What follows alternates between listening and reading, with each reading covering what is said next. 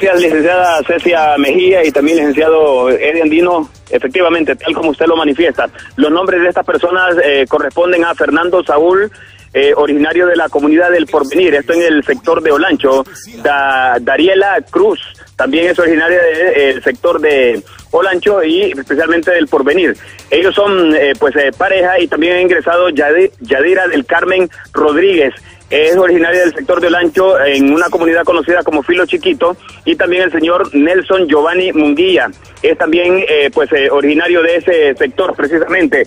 Hace unos instantes han ingresado a la sala de emergencia de este hospital de esta ciudad de Lanchito, al parecer, según manifiesta el señor Nelson Giovanni, que el joven Fernando se le atravesó y le quitó el derecho de vía, el cual impactaron en ambas motocicletas de frente la policía preventiva los auxilios y los han trasladado hasta este sector.